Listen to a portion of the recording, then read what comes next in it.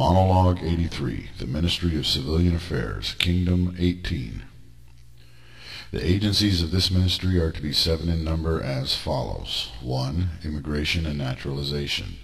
2. Motor Vehicles. 3. Licensing, Permitting, and Registration. 4. Export and Import. 5. Property Trust. 6. Complaints and Suggestions. 7. Financial Counseling. In a very general sense, the Ministry of Civilian Affairs will be the bureaucratic entity that most citizens will deal with on a regular basis. The Agency of Immigration and Naturalization is the entity that processes those entering or leaving the kingdom, including those being forcibly removed or who are leaving in protest. Anyone applying for citizenship must be investigated, providing appropriate documents from the country they are coming from to prove who they are, and such information will be used to run background checks on those individuals in their home countries. This agency will also handle temporary work visas, visas in general, passports, and will process businesses that are applying for legal operation within the nation. Even if an applicant for citizenship is permitted to enter the country, they will only have temporary citizenship for three years and are assigned probationary identification. During this time, they must attend the appropriate educational classes, citizenship training through the Ministry of Education, and must prove that they are law-abiding, productive, self-supportive, and loyal citizens. Only at the end of the probationary period will the temporary citizen be interviewed and reviewed, and, if deemed eligible, will then be sworn in. Those who are deemed incompatible or who are unhappy with life in the kingdom are immediately removed from the country. The AIN, in cooperation with the Ministry of Defense, will have its own military units that patrol the national borders and deal with illegal immigrants strictly. The AIN, with the Ministry of Defense, will oversee the development of border security, including walls, fences, very deep and wide trench works and fortifications, as well as border crossing facilities and processing centers for tourists and those caught trying to enter illegally. No citizen who wishes to leave the kingdom is ever to be prevented from doing so, save perhaps a peaceful and non-threatening interview and the filling out of some paperwork. Exit visas and denouncements of citizenship are to be made readily available unless espionage is suspected. And yet those who decide to permanently leave or denounce their citizenship will find it much harder to return should they wish to do so at some later point in time. When a citizen surrenders their citizenship or spends most of their time out of the country for other than business reasons, that citizen will lose all property rights and all their assets may be auctioned off. This only applies to property and assets left in the country at the time of their departure.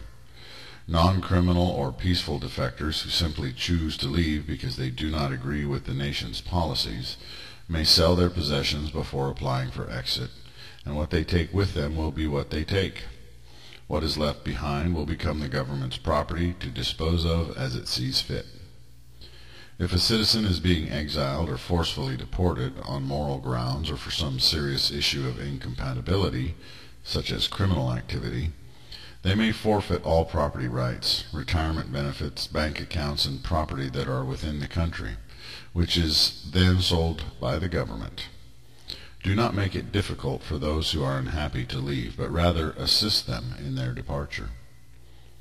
The only exception, of course, would be for those who have been privy to sensitive materials or have otherwise worked in areas of national security.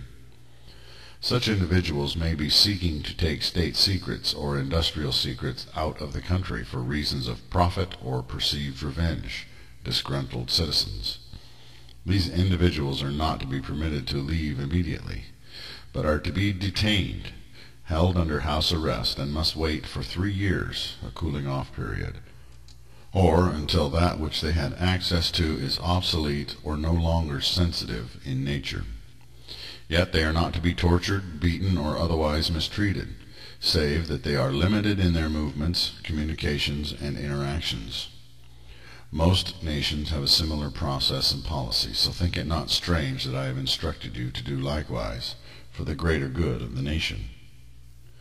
The Motor Vehicles Agency will be, of course, responsible for issuing driver's licenses as well as citizen IDs in general, testing drivers, inspecting vehicles, and registering vehicles.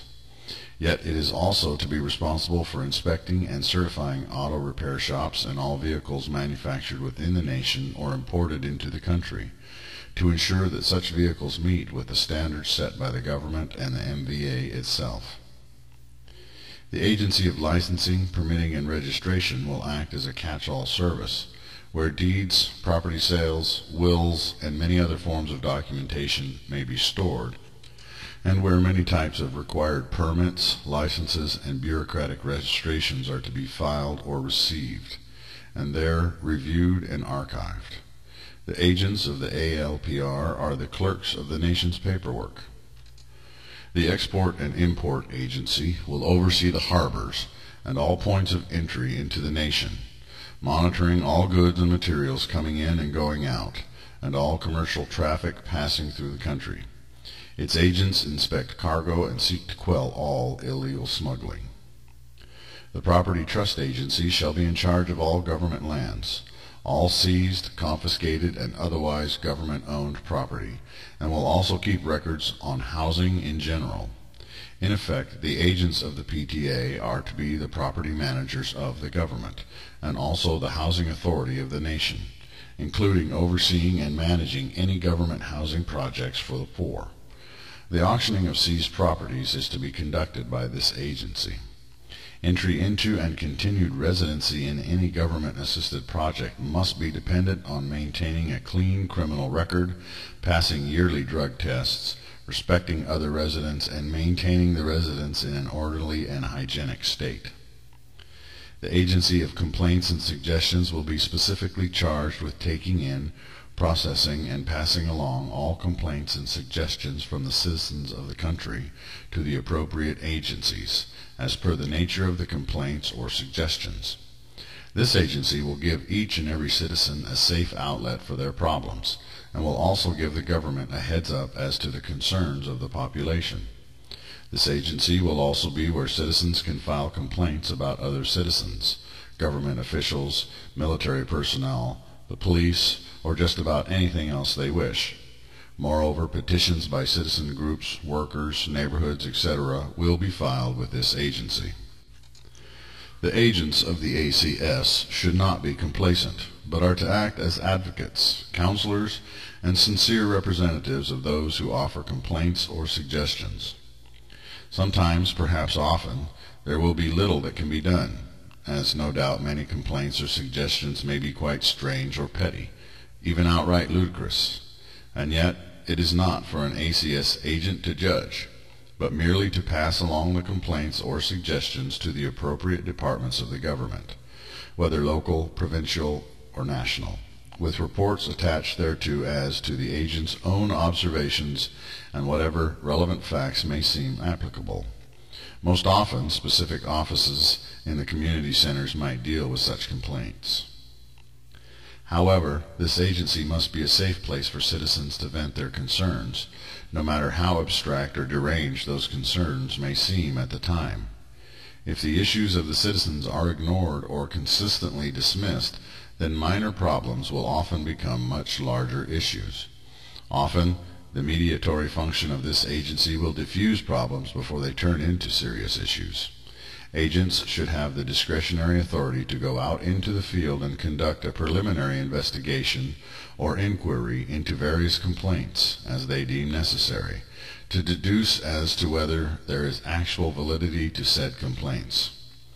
I would also suggest to agents doing their own inquiry that the demons, shadow race, have a little mind game they like to play on people by which the object of the complaint will not occur or appear during an investigation, but only after the agent leaves. That is to say, the barking dog does not bark while the agent is present, but does start barking after the agent departs, or the loud music and ruckus activity ceases while the agent is present, only to start up again once the agent is gone. So, I would suggest discretion and randomness in your arrival and departure, as in appearing to leave only to actually remain for a bit longer afterwards, or show up later for a second random visit. The use of small hidden cameras can also be of great benefit when trying to catch a peeping Tom or a lewd neighbor or even illegal dumping, etc. However, do not act as the literary big brother, and do not abuse your privileges, lest the truth seekers be loosed upon the would-be ACS agent. Always be aware that there are two sides to every story. The tenants of an apartment complex, in example, may complain about their landlord, making up outlandish stories and exaggerated tales, simply because the landlord is trying to do his or her job. The complaints of such tenants might actually be motivated by vindictiveness over the landlord's demands that they obey the rules and or pay their rent. Do not be turned into a hammer against the righteous. The Financial Counseling Agency will be where citizens can go to seek financial guidance and where they will be directed to various governmental, private, and nonprofit programs that assist with needs, loans, grants, and other opportunities. In truth, this agency is to be about connecting the people to the services available to them and guiding them through the often complicated bureaucratic processes required to access such services. This agency will also act as a small government and public-run credit union and will be affiliated with the National Public Bank and should be able to facilitate small loans to small vendors and small grants to new cottage industries within the local communities, seed money and minor venture capital at low or no interest.